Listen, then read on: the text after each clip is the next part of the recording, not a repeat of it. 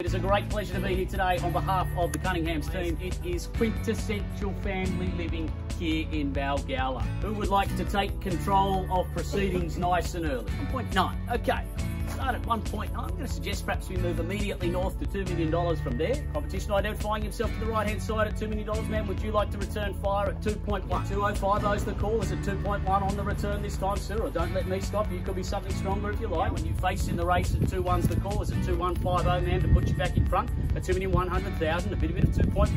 215, she set on the nod and is at 2.2 straight back. Would you like, sir? He's laconic. He's happy-go-lucky about it. I like it, sir. you are going to fit in very well on the beaches, sir. At 2,300,000 with a relaxed style like that, I love it. 2380 is it? 238, 24 this time, sir. 24 he said. 2420. Would you like to keep the pattern going, ma'am? I'll look for your rebuttal at 2450 if you will, but at 2,430. Gentleman's bid down the centre at 2430 is the bid now. 70, 80 this time.